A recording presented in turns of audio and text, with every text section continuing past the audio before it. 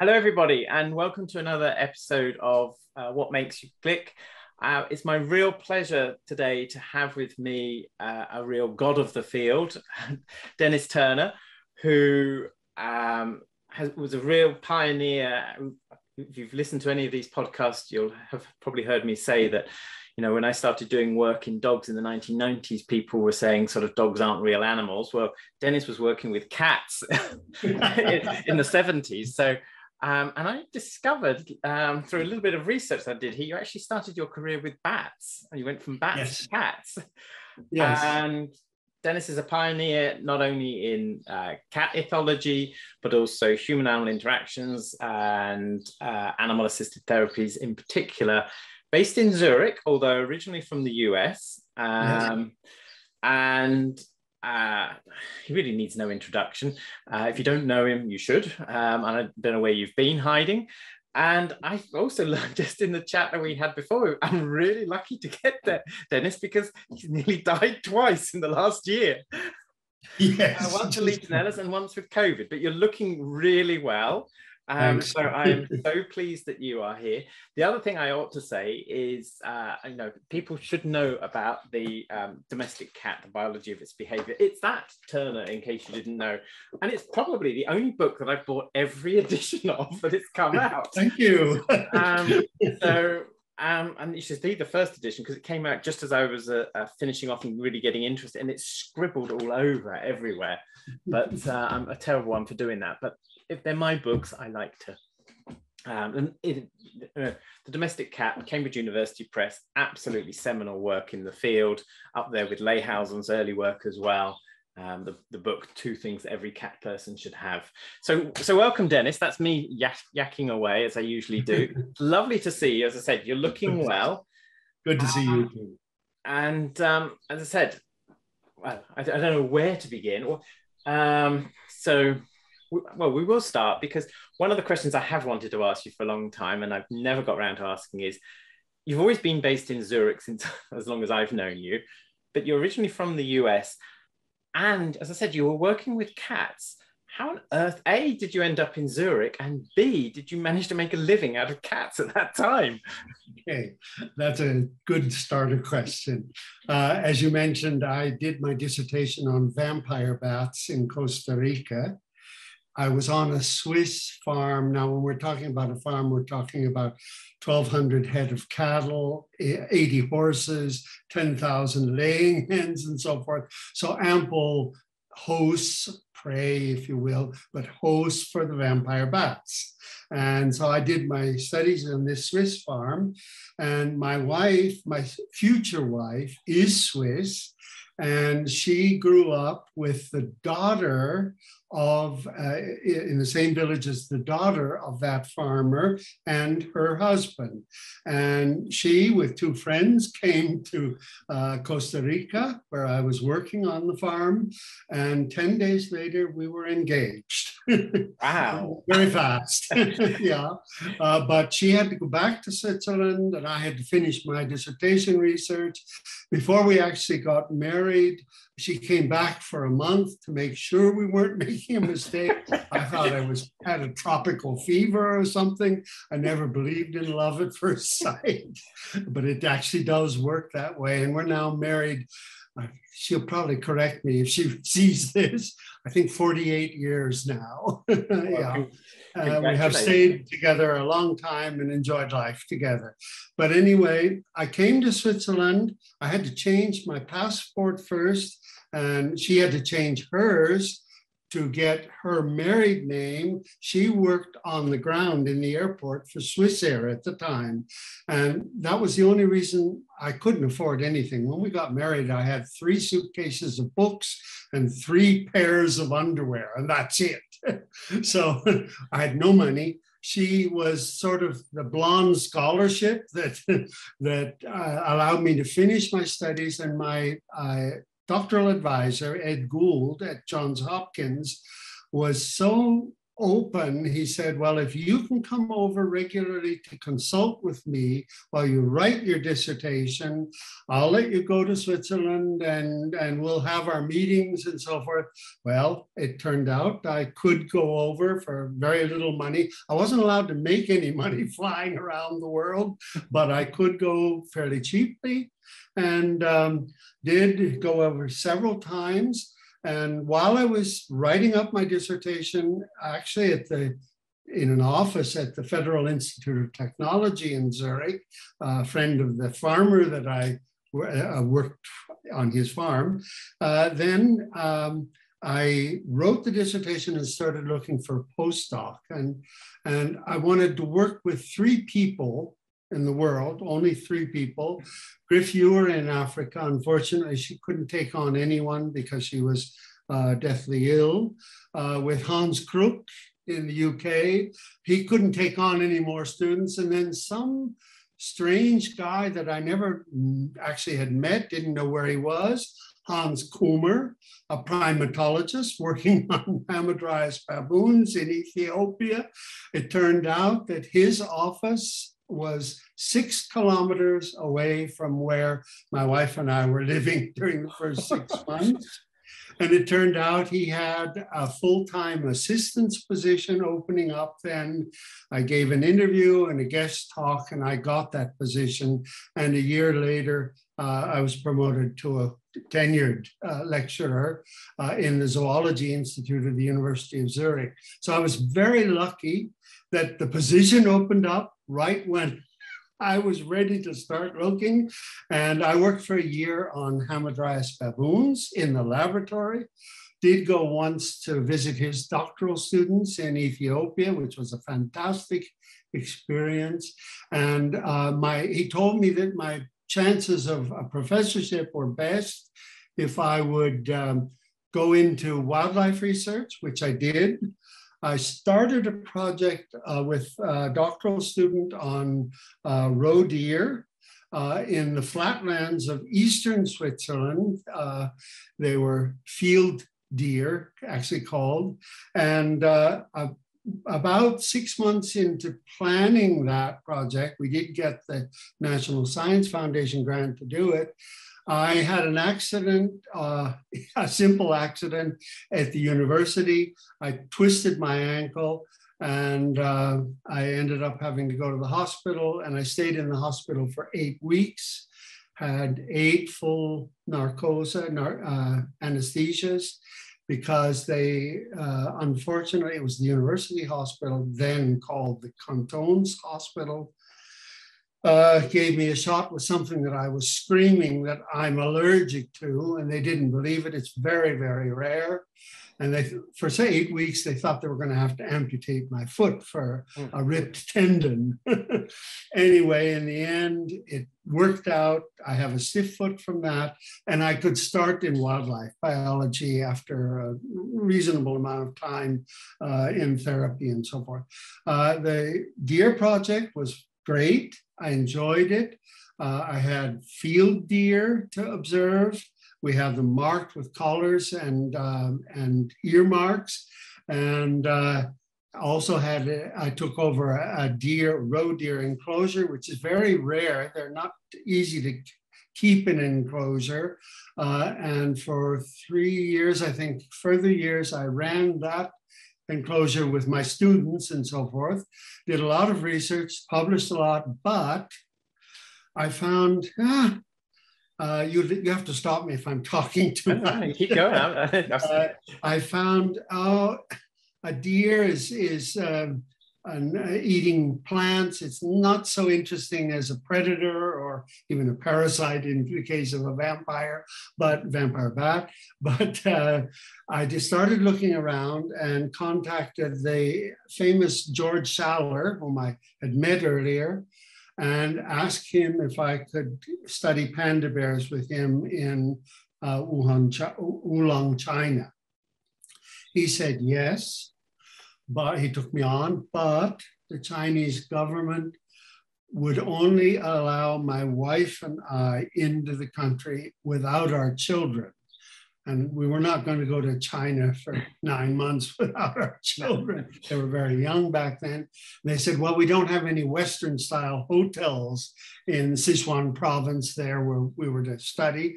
And I said, That's okay. We we're planning on living in a tent in the forest. And but they wouldn't wouldn't agree. And so George offered to let me go to Serengeti to work on his lions. But you know, back then money was getting very tight for these big field studies. Uh, like Jane Goodall, I know her very well and I see her occasionally, but those days are limited uh, for such huge field projects. And at that moment, when I uh, was thinking, what am I going to do?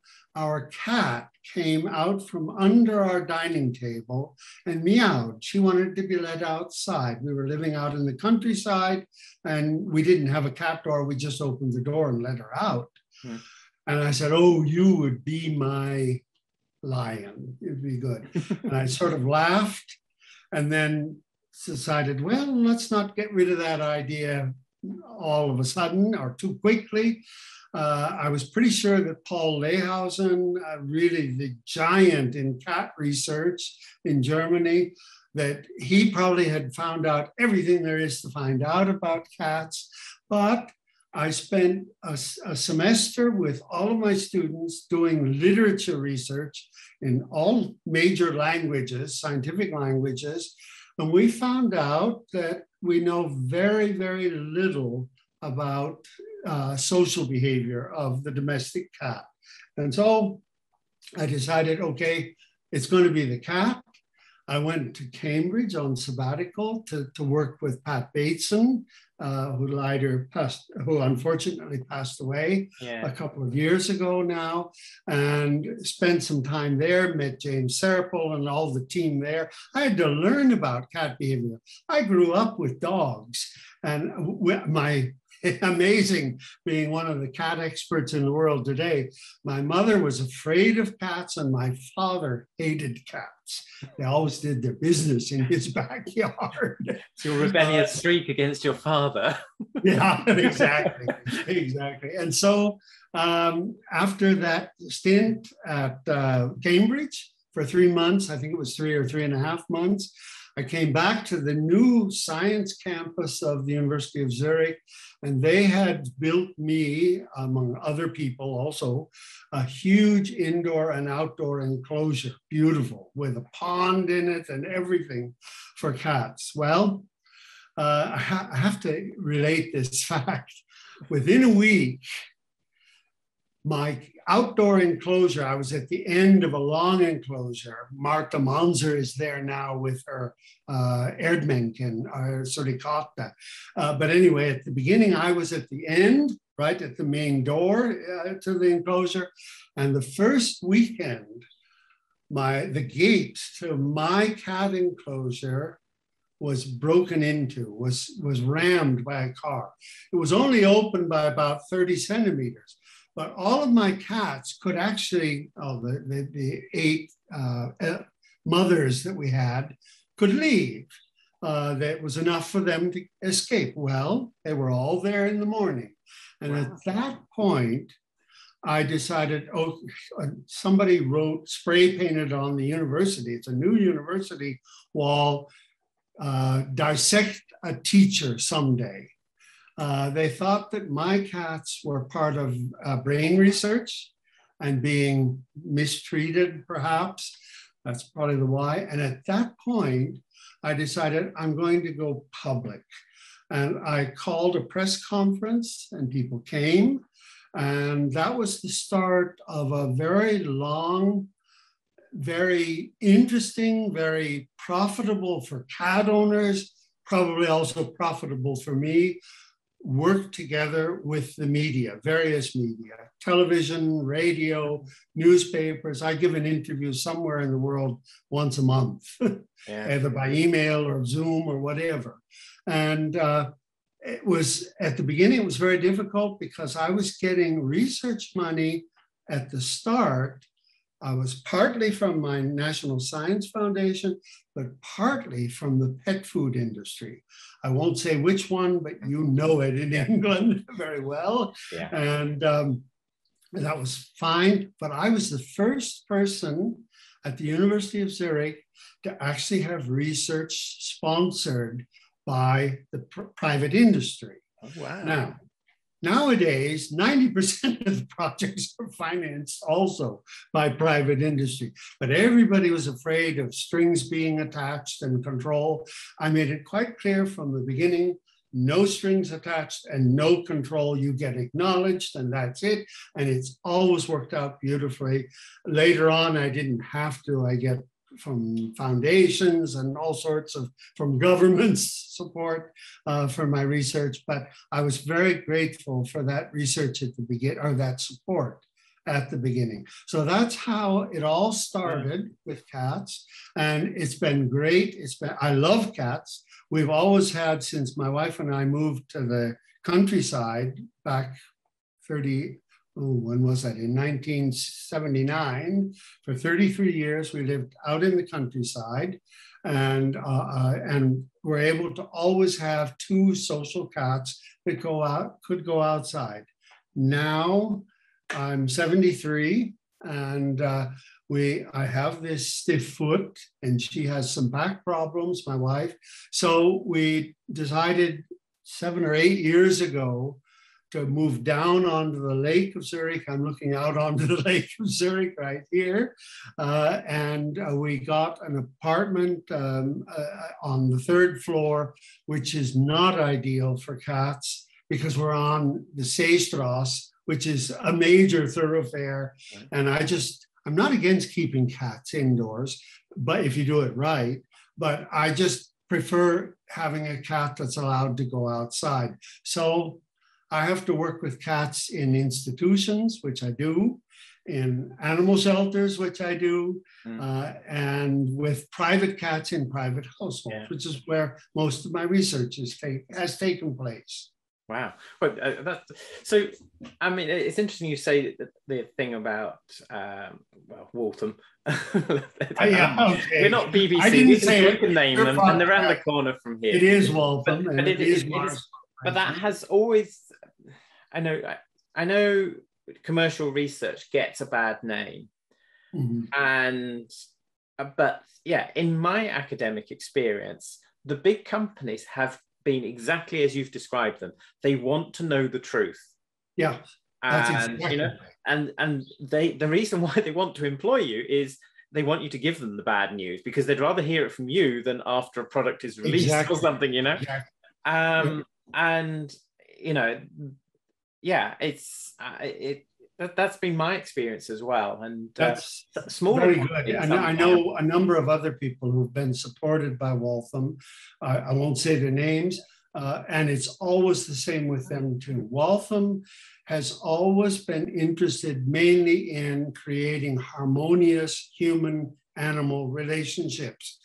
Of course, it's easy when you have the major portion of the world market for your products already, but still, it's admirable. And I well, I don't have any support anymore from Waltham for years now, but I always, except on television or so, admit that I was very appreciative of the support that they gave me mm. when it was needed. Yeah. And they do that now independently through the US National Institutes of Health, which is great. They have this joint program, yeah. public private yeah. sponsorship, and it's the NIH in the United States yeah. that does the rigorous peer control, peer review. Waltham just gives the money, sorry, I did say it, gives the money and they decide who deserves it. And mm-hmm. that's a fantastic position, I have to say.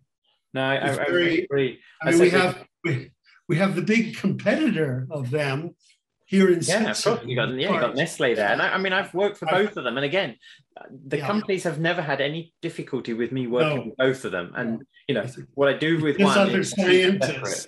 Um, other and, scientists are worried about it, but uh, yeah. uh, I think in the meantime they all realize. I mean, Stanford Stanford University in California, which I did not attend, is 90% of the research at Stanford is industry sponsored.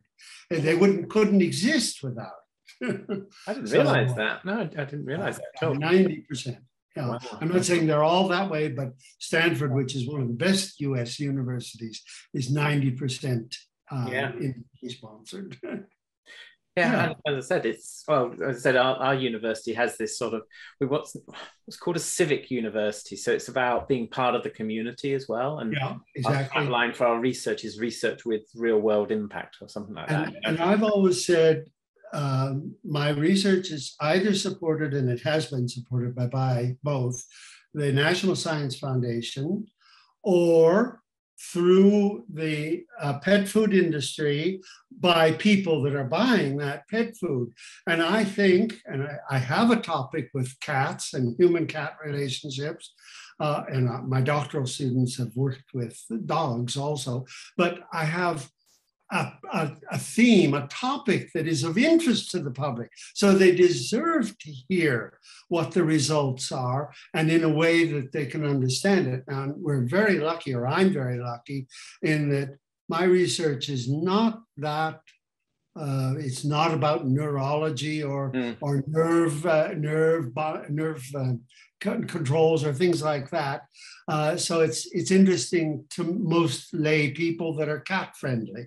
Mm. I'm I'm the last person in the world that says somebody has to have a dog or a cat. Mm. Uh, only if they can take proper care of it, and uh, and that means that they have knowledge about its needs and and respect its needs in the way they care for and keep the animal.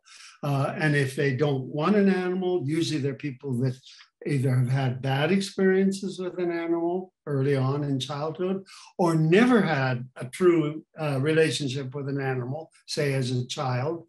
And that's a problem because they don't know what they're missing. But I can't accuse them of that. The only thing we can do is, for instance, with school children, introduce them in, uh, to safe pets and how to properly approach a pet or stroke an animal and not do it inappropriately. Otherwise, there are going to be problems.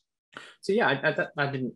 When I introduced you, I should have said that you're also, yeah, perhaps a pioneer in that public engagement with science, and and as you say that, yeah, making that public element, making science accessible.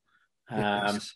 And but so going back to the the, the question though, um, because okay, I mean, Waltham decided to uh, invest in the cat work, but he, I mean, that must have been a pretty bold move by them as well to be interested in cats at that stage. You know, surely dogs were the big market. You know, I mean, uh, yes, so, it was. And it is still. So was that your wonderful skills of persuasion, or was that? Uh, I, I really, right I have to think about that. Um, I, I had already made a name for myself in the public in Switzerland. And I think it was with the help of the Swiss unit of Waltham, also Effems, that convinced, um, in the first place, I became very early on president of the Swiss national member of IAHAIO, one of the founding members of IAHAIO. Uh, and that helped along with convincing Waltham that, oh, this guy, even though Switzerland doesn't have much uh, uh, money from the standpoint of pet food, it's a small unit in Switzerland, we better get this guy on board. that uh, and I mean I've been invited all over Europe to give talks, uh, mostly sponsored by that company uh, early on. Now, more recently, I'm sponsored by universities to give those talks, but but I always admit that it was the pet food company that started it all. And I, I when I was president of IAHAIO for 15 years, I think, from 95 till 2010. Let, yeah. me just, sorry, let me just jump in. People who don't know what IAHAIO stands for, it's International okay, Association of Human Animal Most people today still know. yeah. yeah. The International Association of Human Animal Interaction Organization. Today, there are over 95 to 100 uh, member organizations and they represent some over 100,000 people wow. in ver- various countries around the world in some way interested in or involved in the human animal relationship. Uh, it can be veterinarians. The American Veterinary Association is, is a member. Uh, that's our biggest member, but there are many others, and there are many small members in Eastern European countries and so forth. But that's okay. There's no uh, there's no size limit or size size expectation. And I have to say, uh, I just kept for those 15 years IAHAIO alive and was more or less a good administrator, I think. But my successor, Rebecca Johnson uh, from Missouri, she was the one who built IAHAIO into this huge organization. And her successor, uh, Marie Jose Enders Slegers at the Open University in the Netherlands, uh, she has really developed it into a practice oriented, practical oriented society, also with best practices and so forth. I'm very proud and very happy with the way IAHAIO has developed. Now, uh, IAHAIO is an organization, uh, an umbrella organization of organizations, but together with James Serpell, Lynette Hart, John Bradshaw in your country, um, we, the three, James Serpell and I and Brad, uh, Brad and I wrote the original constitution uh, for ISAZ, the International Society for Anthrozoology, yeah. and other people, including Lynette and Ben Hart and Erika Friedmann, were the co, the original founders of uh, ISAZ. And that is an, the International Society for Anthrozoology is a society of individual researchers and scholars. Yeah. So the two actually complement each other. The one is organizational, the other is individual. And at the beginning, I was very instrumental, I think I can say that, in keeping the two organizations at least back to back at, at their congresses, at their congresses. Nowadays, it's just too difficult to plan with COVID and so forth that we have the same uh, same possibilities. But the two organizations exchange ex officio board members. There's a member of each organization in the other organization. So we keep informed about what's going on. And that's great. You know, when I said I think in the preview before we started this, uh, I'm giving a talk at IAHAIO, the, the opening plenary at IAHAIO this year, which is online in end of September. And um, I'm talking about giants in the field. Uh, there'll be James Serpell and Erika Friedmann and all of these. There'll be many more. And I'm also mentioning some key younger researchers because as opposed to my predecessor, Paul Leyhausen, I'm not territorial. I'm very much hoping that young researchers uh, interested in an academic career will start working more with cats and, and doing their dissertations and, and then starting research groups uh, around the world. Anyway, um, I'm, I'm talking about these giants in the field, but I honestly don't consider myself a giant in the field. I've done some good research, but I'm more an administrator and a diplomat. I've kept organizations talking to each other, of joining in and so forth. And I, that's my biggest accomplishment. I, I think, think, you're both. I think you're both. Oh, thank you. you know, I, it's interesting. I, don't, I did one, of these, I did one anyway. of these podcasts with Bonnie Beaver, and she said, yeah, she was very much more that diplomat type role. And I, I, I just have no, no and I, know I don't have those skills at all. um, it's interesting yeah. you mentioned because I, I mean, I only know Paul Leyhausen from his his work and whatever. Um, and I mean, I don't want to stray off too much, but you know, uh, when I was chatting to uh, Kathy Houpt on one of these, because mm-hmm. she spent time at Bar Harbor, and she told me a little bit about Scott and Fuller. So, what was Paul Leyhausen like as an individual and his lab? Um, I'll tell you a little secret, which I've never mentioned in public before. Uh, it's okay. Paul Leyhausen passed away about, I think, about 20 years ago. Yeah. Uh, when I, I, in 1986, I had already started publishing some of my cat work. And in 1986, with the help of Waltham, also Mars Corporation, I was able to invite all of the active cat researchers from around the world to Zurich for a symposium. Which led to?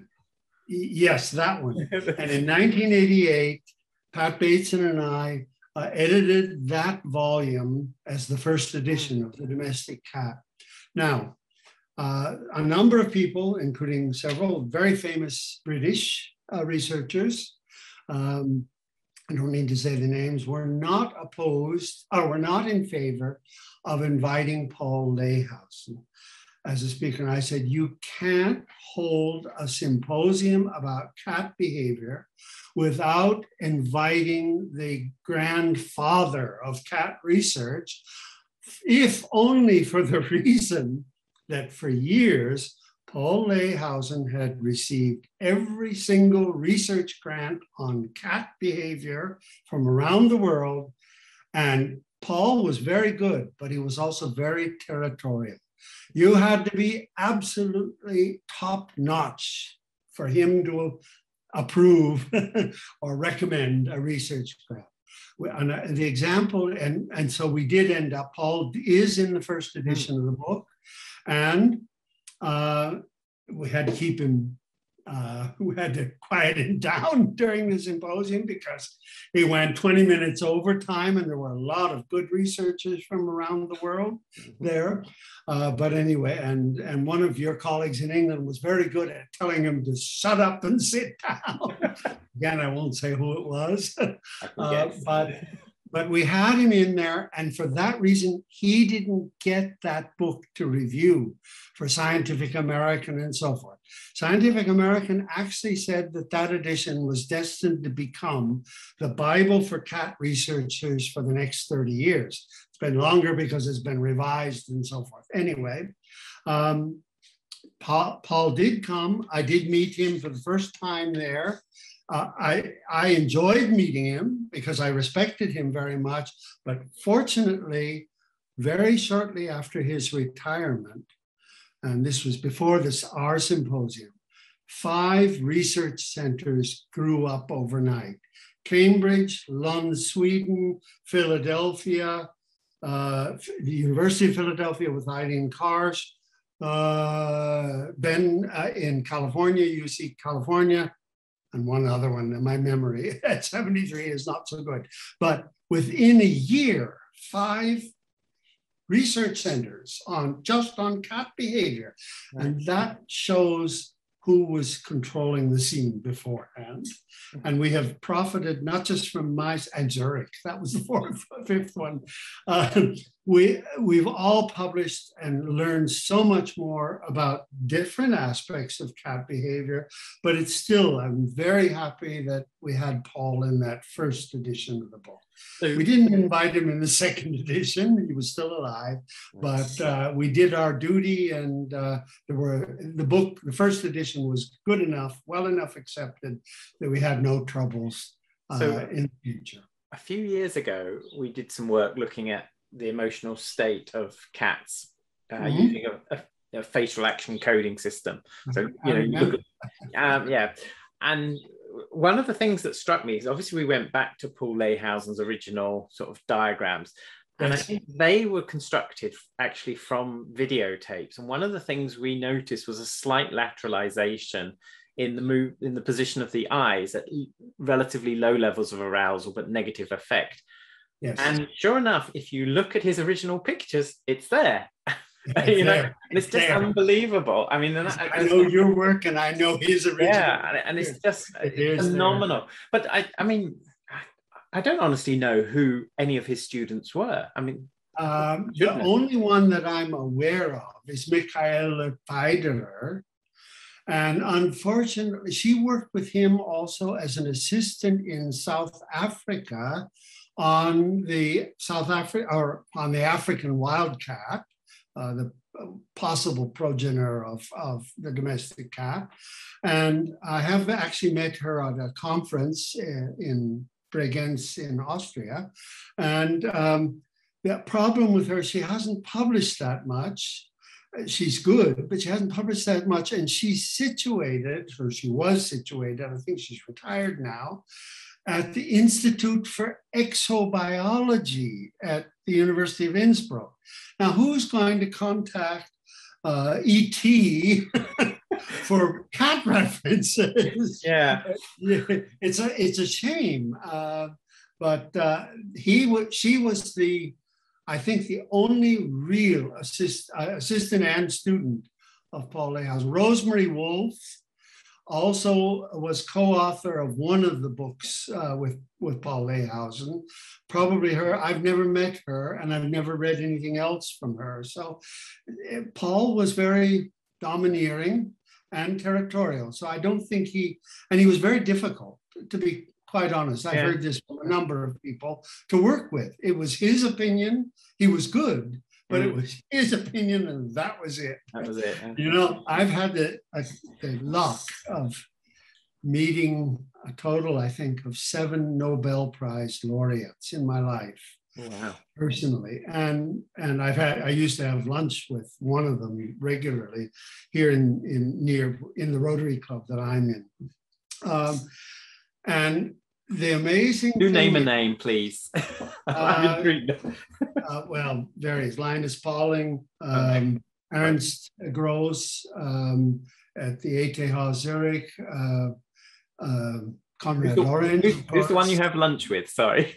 uh, um, Ernst, Ernst Gross. Okay. Uh, he worked at, he worked, he's now passed away, yeah. worked at uh, Rüschlikon at the IBM Research Center, which is two doors two villages down the road uh, from me. So, um, and it's there are a couple of others. It, it's really not so important because what the point I want to make, I'm not name dropping. That's why I don't know their names anymore. But it, when you talk to those huge, important researchers, not one of them says it's me. It hmm. was, they all say it was my team. And that's a difference. I mean, one of them, my very, very good, very famous institutes director at the University of Zurich, one of the world's ex, ex, uh, experts on ant navigation. Uh, he told me once, well, Herr Turner, you either have to get on, on was this way, you either have to get an, a uh, a call to become a professor at Harvard, or you won't be promoted here. I was never promoted at Zurich. I have a tenured position, but I, am a per, I was for 14 years, 14 and a half years, invited professor at a graduate school near Tokyo. Uh, and that's that's the only place I use the professor title. I never use it when I'm here. It's often added by journalists, but not by me, because I don't want the people to be confused that I'm a professor in Zurich. I'm not a professor in Zurich. I was a professor at a very good Japanese university, uh, and I taught in English, of course, not in Japanese. But only, he always said you have to you have to go like this. Those, for those, hang on, because I've been explain. This podcast goes both in video but also audio. So going like this is not going to help. Oh, oh my! Oh, oh elbows. We're talking about. Oh yeah, the elbows pushing to the side. You have to show your elbows to make it. Um, and I disagreed with him. Uh, I said every major, world famous person that I know has worked with their teams and they acknowledge that their teams of research associates and even students have helped them um, make their discoveries. And I come back to one of my own cases because I always, it's so unfortunate. What, I, am sorry, I'm going off on the, side, but it's one of the most important, uh, one of the most important discoveries uh, that was made. It was made by my then master student, Gerolf Rieger. Now, he was an ethology student who was with a very famous ethologist in Vienna, but wanted to come to Zurich to study with me uh, cat ethology. Uh, he was officially with the Department of Anthropology under Bob Martin, uh, the director of anthropology, but I was his uh, advisor, doctoral advisor. In any case, Gerolf and, um, uh, discovered why cats and how cats can improve human moods, negative moods, uh, depressiveness, anxiety, and uh, introvertedness. Now, I have all, Gerald, Gerolf was first author. It was always on my research project, but Gerald, Gerolf was first author. He's at the University of Essex, by the way, now, as a reader, I believe. Um, he was first author, and I, as project leader, and I also advised him on this, was second author. Hmm. The next study was still on my projects, and we, it expanded with more data, and that was uh, Turner and Rieger, because it was mostly my ideas then, but he also worked on it. And the last project was Turner, Rieger, and Gygax, because Lawrence Gygax, uh, with the Swiss Technical uh, University, uh, helped us on the statistical analyses. Now, in every interview that I talk about these very interesting results about human moods and how they affect uh, cats and cats affect human moods, I always mention Gerolf's name.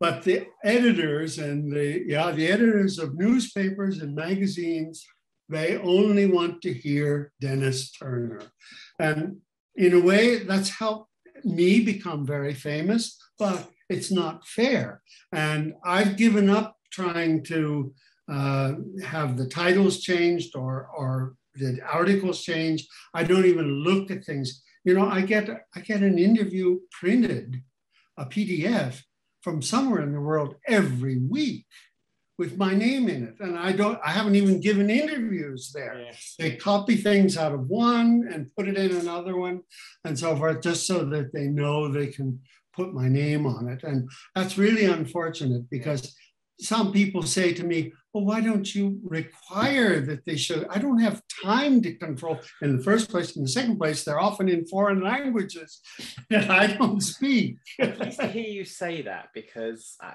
I mean, I am sure it's happened to you. Well, I, yeah, and I've and you know I have been so lucky, and as, as I said to you before we started the recording, one of the reasons why I kicked off with these podcasts is because I have just been so lucky with the generous people that I have met.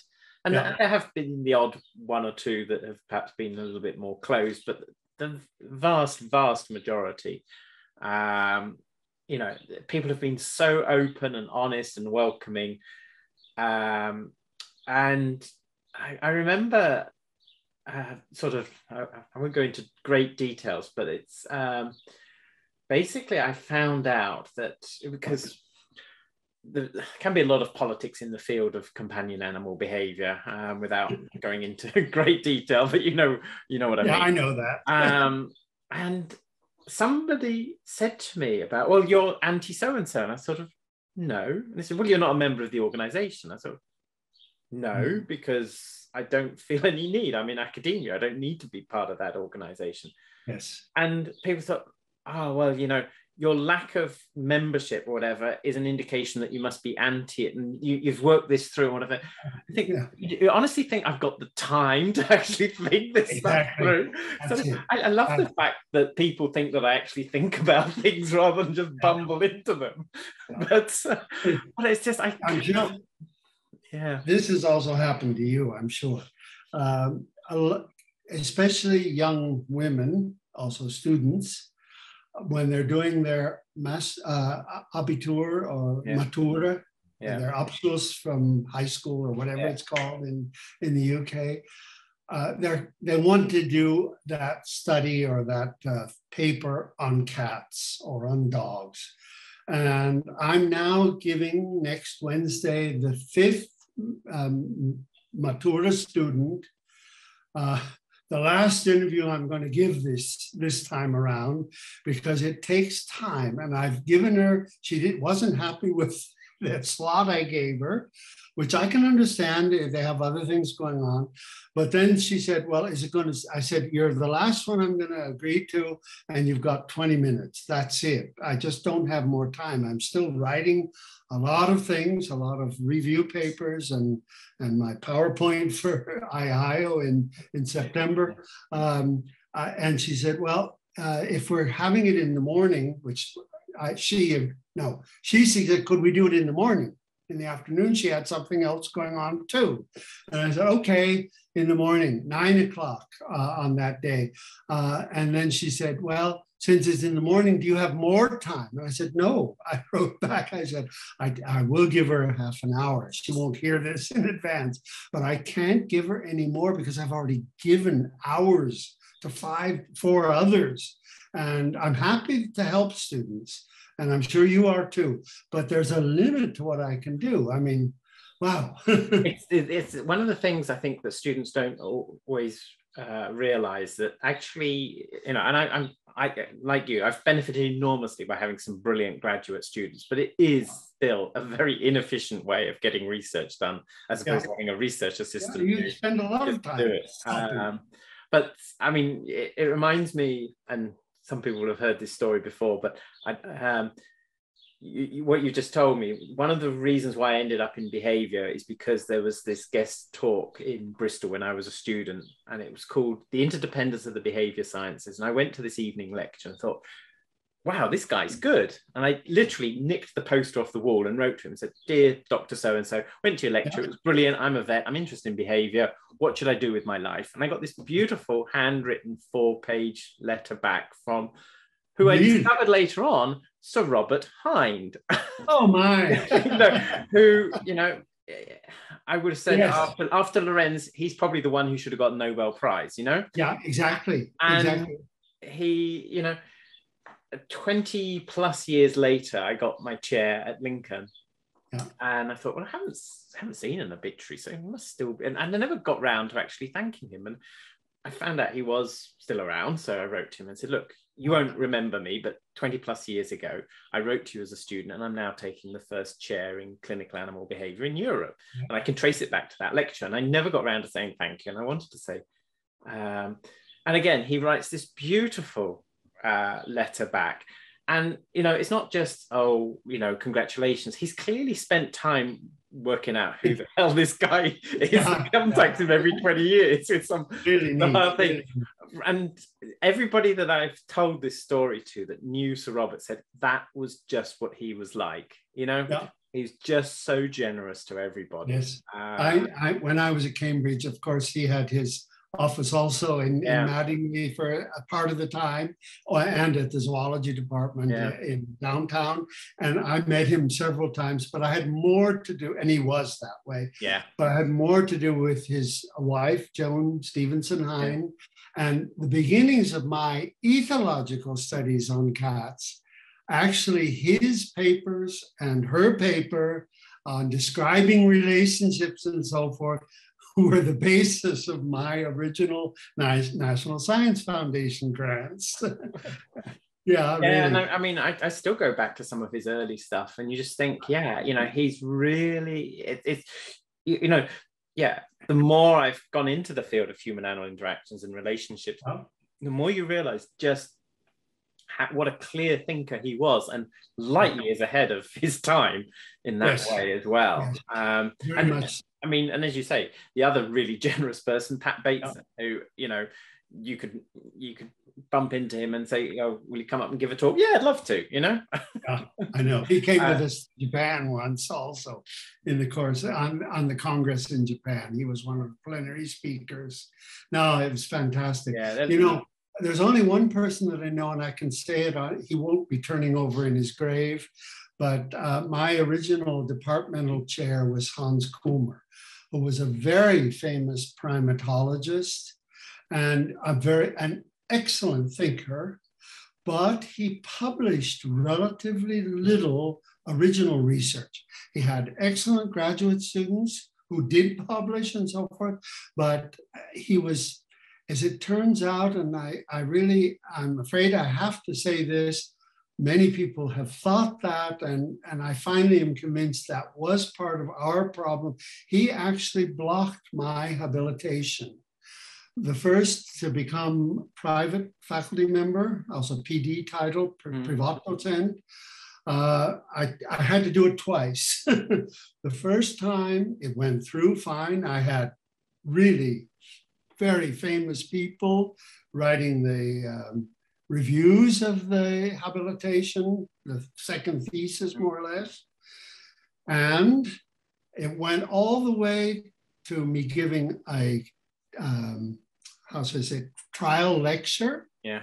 in front of just faculty. And uh, they were ready to vote.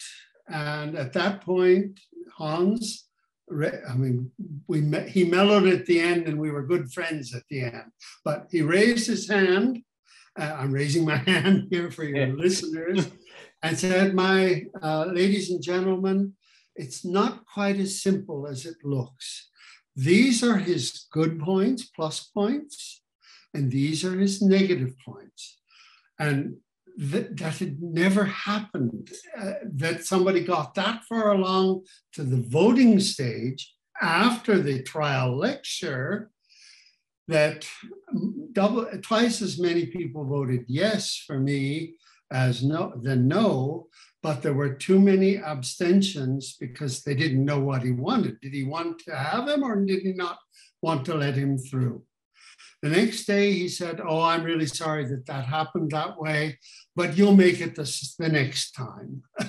well, I didn't go a next time with him. I went to the vet faculty. Right. My uh, habilitation is actually at the veterinary faculty of yeah. the University of Zurich, uh, teaching small animal behavior and behavioral problems.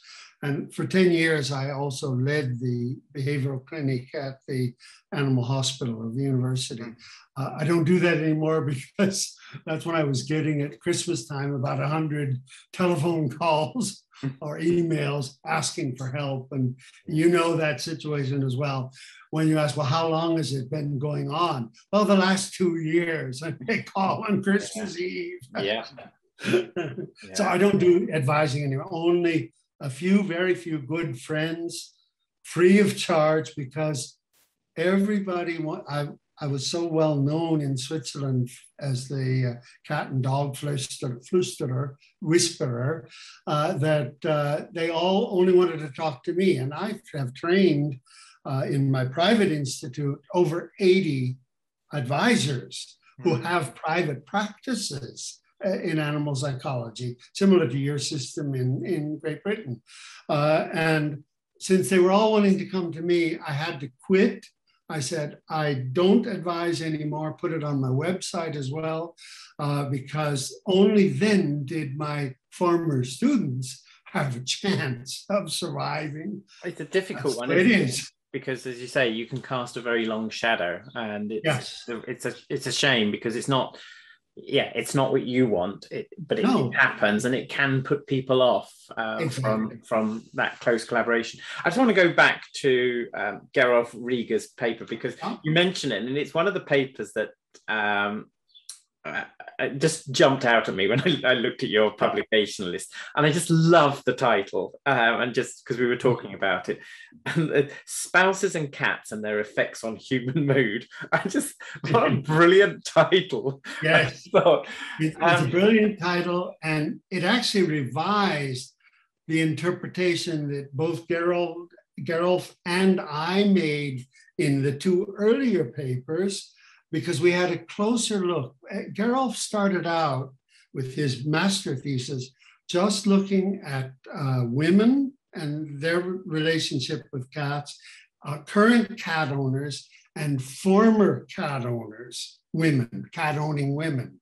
Uh, the reason why he did that was uh, that if you found a difference in the effect of cats or women with interactions with the cats, people could say, well, that's because women with cats have uh, different personality traits than uh, average women or women without cats. So he looked at women, current cat owners, and women that in the last six months didn't have a cat. Something had happened and didn't have a cat anymore.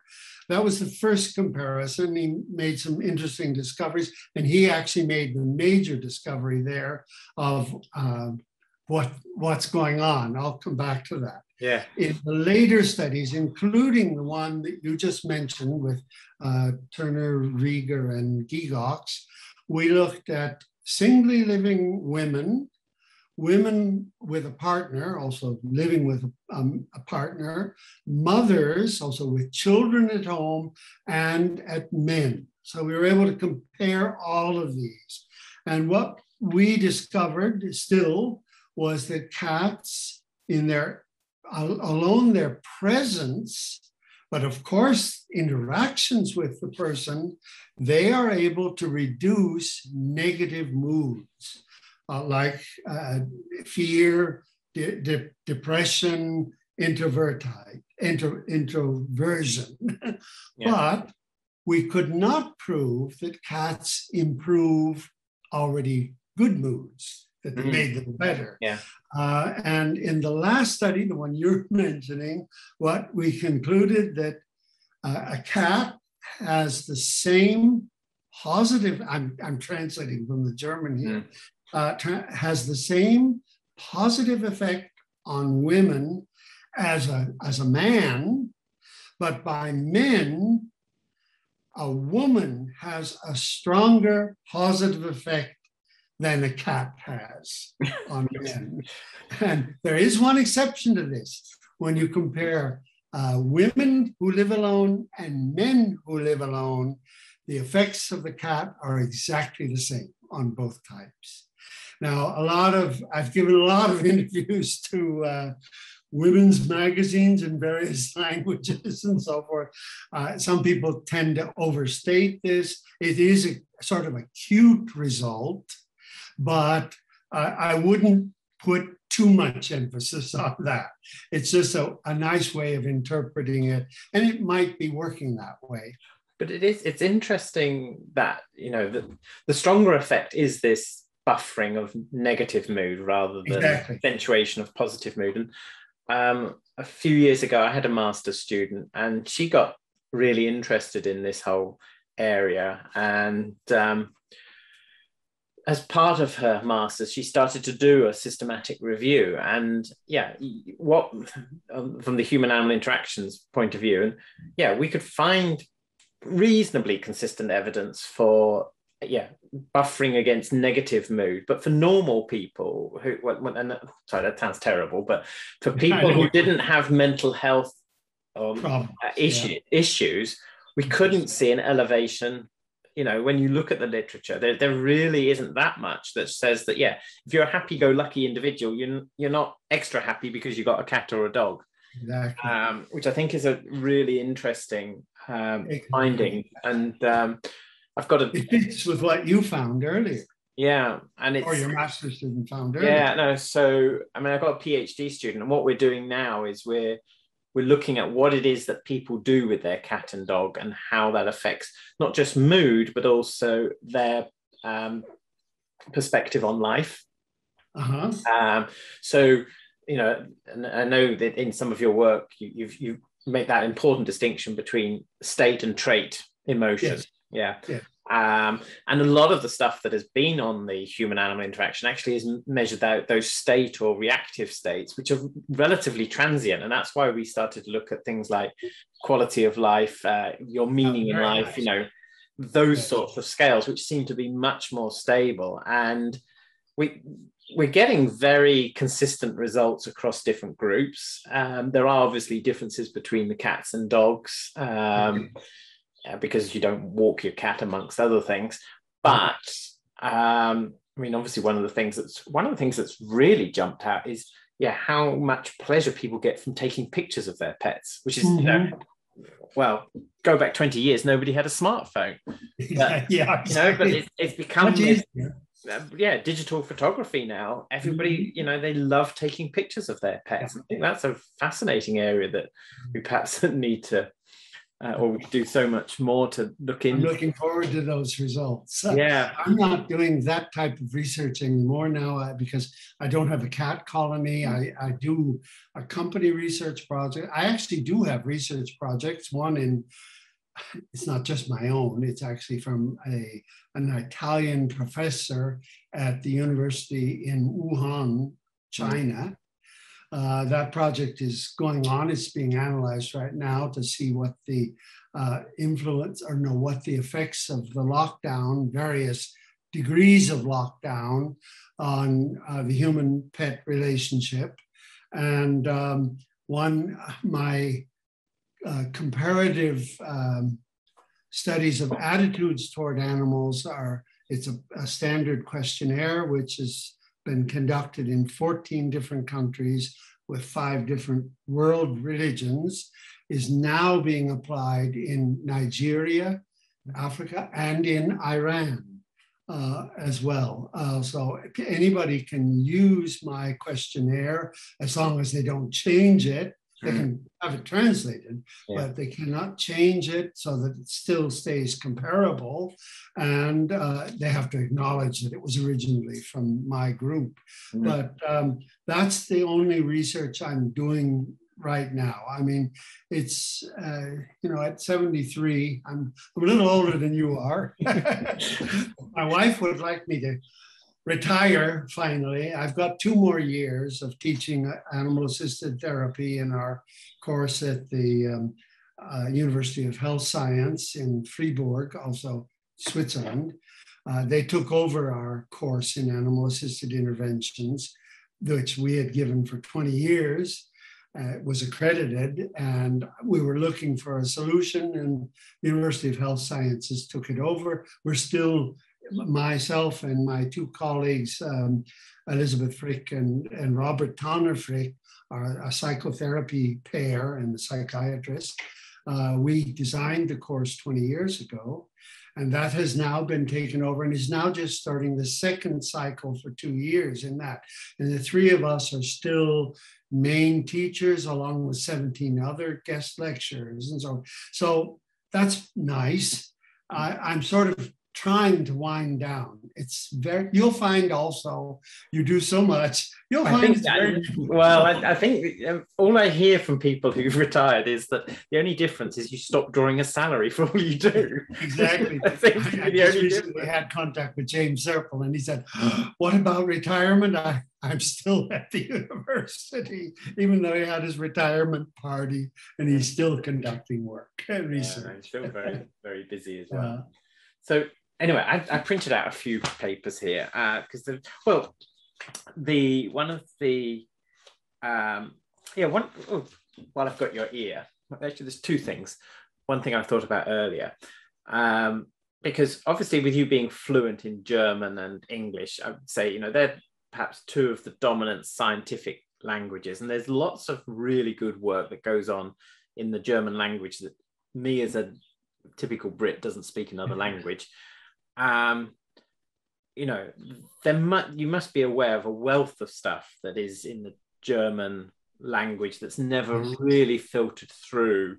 Um, and I, with my students, when they say, This is the first, and I said, Have you read every language before you can claim you're the first? Yeah. Because yeah. they seem to assume if it's not in the English language, it doesn't exist. And I'm thinking, well, you know, obviously the people like uh, Dorit Feddersen Petersen, uh, she did some fantastic work. Um, but my just, when I when I did dog behavior, I always was citing Dorit oh. in English and in German.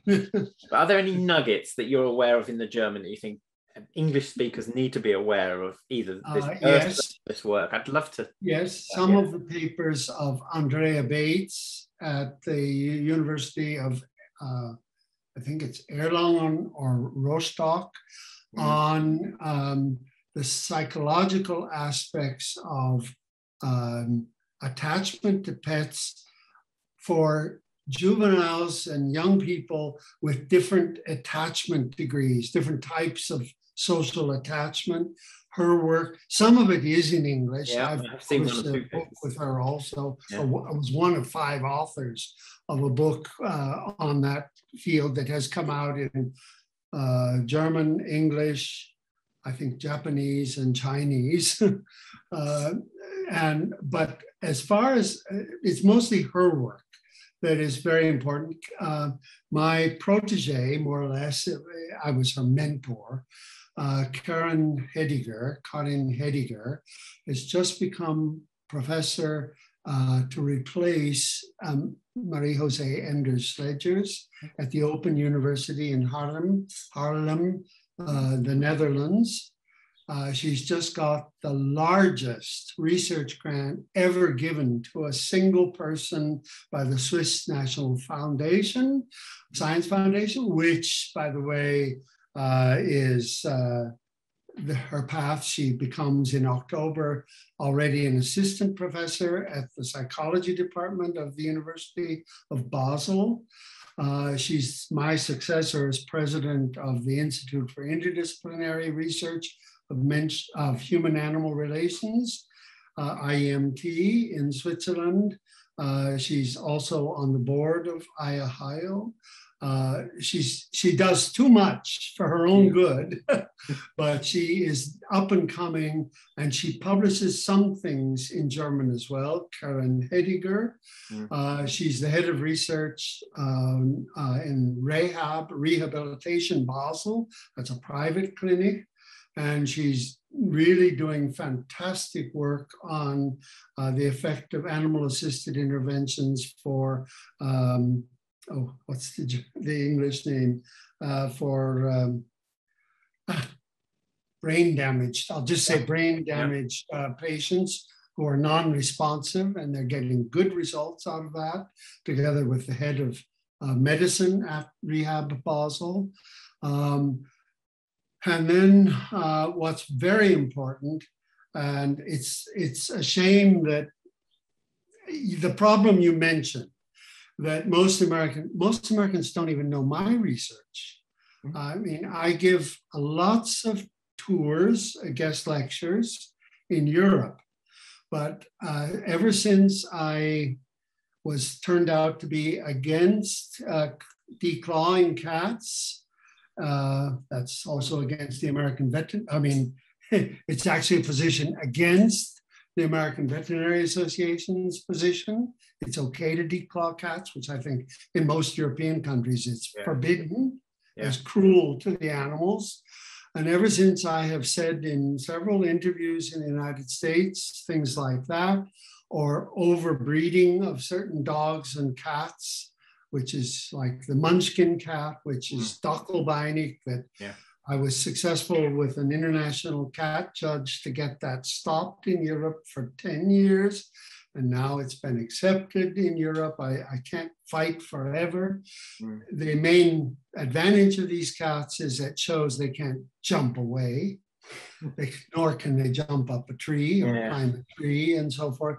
Uh, I've, I've, you know, I'm not that America friendly when it comes to animal protection. For 12 years, I was on a trustee of the World Society of the Protection for Animals. Mm. And for eight of those years, I was the head of the scientific advisory panel uh, for the World Society for Protection of Animals. I'm not an extremist animal protectionist by any means. Mm. I'm actually favored a politics of small but always improvements in animal behavior. Nothing, uh, you know, um, massive like PETA does and breaking out animal. I'm not in favor of things like that. And I have made my opinions known in America, which is why I'm rare, only twice have been invited as a guest speaker at major symposia in the United States. Otherwise, in practically every European country and Asian country, I've been invited as yeah. a main speaker.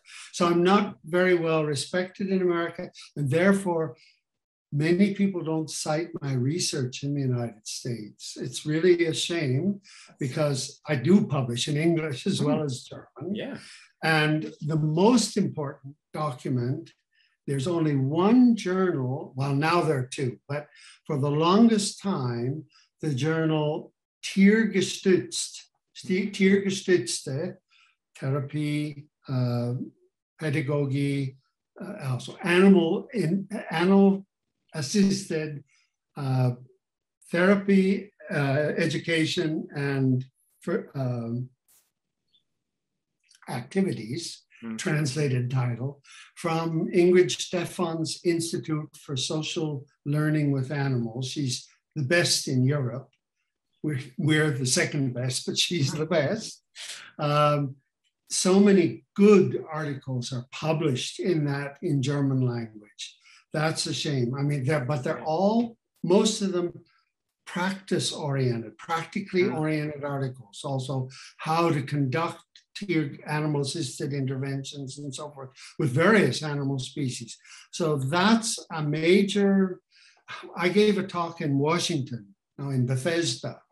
I was invited as one of the speakers to the NIH, NH, NIHCD, National Institutes of Health, Child Health and Human Development Symposium in 2008. And I spoke what I felt the truth was. I know the situation both in the States as a former American and as a European. And I made it quite clear that it's time that the Americans learned from the Europeans. They started everything, as well as the Brits, also UK and the United States started this whole field. But in the meantime, the Europeans have by far taken over and advanced it far much further. Sorry, bad language, but have taken it much further than the Americans. We have accredited two year training programs, internationally accredited uh, certificates of advanced studies from universities, the University of Basel, uh, the Health University in Fribourg, and so forth. Uh, and in America, with exception, and I do admit this is an exception, of Phil Tedeschi at the University at Denver University. He has an excellent program, uh, which is a degree program for social workers with animal assisted work.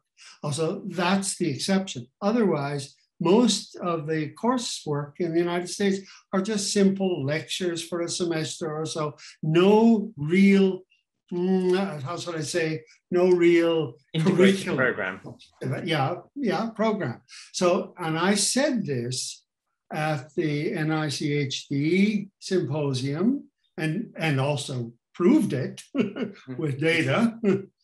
And my paper was the only one that was not accepted in the books by Peggy McCardle, NICHD, and Sandra McCune and company. So it's okay. It's it's I'm I'm just not that welcome in America. Uh, the rest of the world, yes, South America, I've given major talks at symposia and so forth, but the United States is a little bit off limits for me. And that's simply because I tell the truth. Wow. I, I have to admit that. Yeah, no, as, a, as an American or as a former American who loved his country, hmm. really. I mean, I love Switzerland and I feel more Swiss anyway than American. Uh, but uh, it's very hard for me. I don't say that to any of my relatives. Hmm. of course, they would never, uh, couldn't accept that I know what I'm talking about. And maybe I don't know what I'm talking about, but I think I do. Got a few years experience there. That, that's that's really sad. I think. Uh, as you yeah, said, it is. It's um, it is. and you know maybe somebody listening to this, you know, who understands a lot younger and got yeah. the German and the English can help to bridge that divide. The other person, the other people are up in Sweden and now mm. Norway. There's quite a bit of good yeah. work going on. Schötz uh, is doing is doing excellent new research on using the methods of phonetics to uh, investigate cat vocalizations, mm-hmm. and I'm really anxious to see what's going to come out of that yeah. because and whenever you apply new methods, Kurt Kotrschal at uh, Konrad Lorenz Research Station at the University of Vienna also, Kurt and his team have used the theme video analysis program, the yeah. algorithm. And boy, they, they, fortunately, they've uh, they've substantiated most of my findings, with old fashioned ethological methods, but there's much more that can be done uh, actually, with uh, new methods. I actually examined uh, Wedl, the, his student who was using that theme. I, I, examined her thesis. I remember it was, yeah, quite impressive. I tried to get oh, yeah, Manuela, yes. Yeah. Yes and it really and it, it opens a door to totally new research and this is why I, am really excited I, that part of my talk well i'm actually writing a paper right now for animals on open question, unanswered questions and hypotheses, including criticism of my own work, where we have not over necessarily overinterpreted, but interpreted data that need to be experimentally yeah. examined. And I hope that that will come out in animals this oh, year. Look forward to it. Uh, that's the last major paper, along with the last major international talk that I'm giving. Talking of current papers, I thank you for sending me the English version of this French publication. Yes. um, and if you got, if, you're right for times. I know you said you were. Uh, yeah, maybe another 15 minutes. Okay, so uh, the the reference is. I try and do my French. Um, so just so that give it its proper reference. Le chat de campagne ayant accès à l'extérieur et le uh, faune sauvage, um, comment surestime et mal uh, interprète les données de terrain, um, which is in a new book, but basically outdoor domestic cats and wildlife, how to overrate and misinterpret field data. Yes. Um, and I, I, I mean, I, I, I read the, uh, the, the paper and I, again, I hope people get a chance to read this in the English because I think it's a really neat um, piece. And I think it's a very balanced piece because there are those people who say, you know, yeah, cats are destroying wildlife. Yes. Um, Biodiversity. And, and those people are saying, well, no, cats cats are lovely and fluffy. Um, yeah. Interestingly, a few years ago, and we never published it, uh, we had a student and they started doing some work one of the things we found was that cat owners actually invested far more in feeding wildlife, etc., in their garden and invested in and had this more general interest. Um, but the important, and I, I, think just to sort of précis this, you, as you say, you, you speak your mind. You don't. You're not there to appease the cat owners or the or cat the haters. But you look critically at the sort of data. And yes, yeah. on the small islands, cats can be absolutely devastating. Yes. I love the bit that um, says where you, you, you basically say giving the numbers of of animals that um, are destroyed yeah. is fairly meaningless unless you know how many animals are dying each year anyway. Yeah. But also or produced each year, or even produced each year. Yeah, well, this is the thing. If you want a stable population, you think about it. You know, um, yeah. you know, just something like free roaming dogs. The vast majority are not going to make it to adulthood. That's that's exactly. what happens. You overproduce. But also the alpha, beta, and gamma biodiversity, and the fact that people have tended to focus on very local habitats when they've done exactly what studies. they see and what they see. Yeah. Yes, and what gets in, brought home in their backyards. yeah, it might be that they bring home, yeah, at one particular type.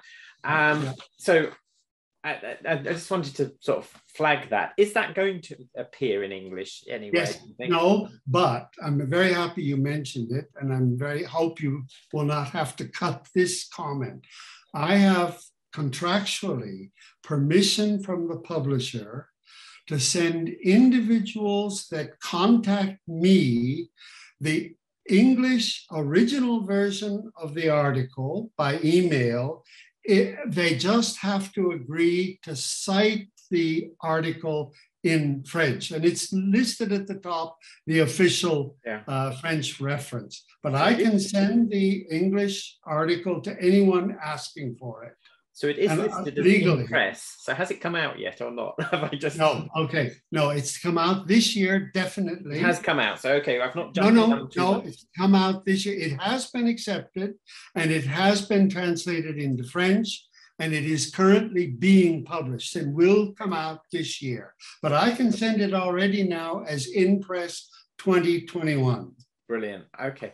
Because I would certainly, yeah, you know, and the other thing is, and, and, and, I think this is also a characteristic of your writing, you you write at a level which, you know, you can write really good science that, you know, somebody who's just a cat owner can read this and understand this. And That's I know I've mentioned alpha, beta, and gamma. Was. You know, um, you know, from I've sort of talked about alpha, beta, and gamma di- biodiversity, which people think, what the earth is he on about?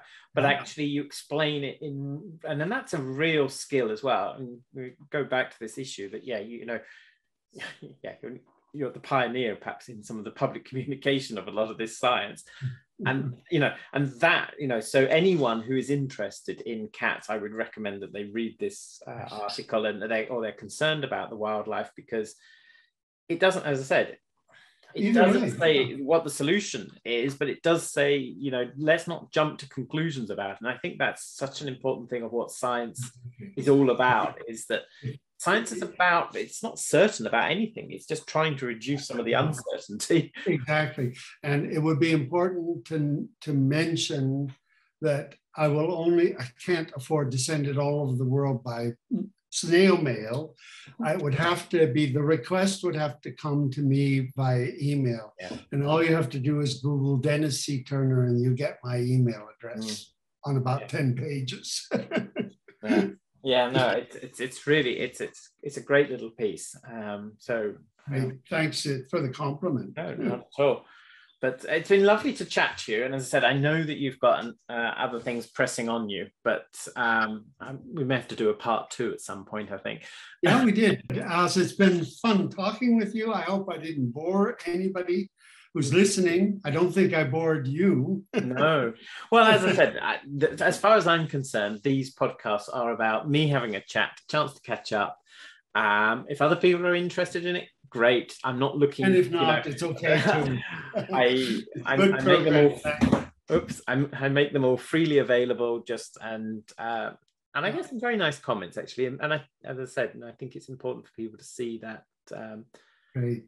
that, that human side of of scientists. And I'm uh, well, as I said, I wish you well. Uh, and you've had a scary last year Couple or so. years, yes. Um, and uh, I hope you stay in good health and that we can catch up before too long. I'm planning on it. okay. okay. Thanks a lot. Bye bye. Take bye care now. too. Bye bye.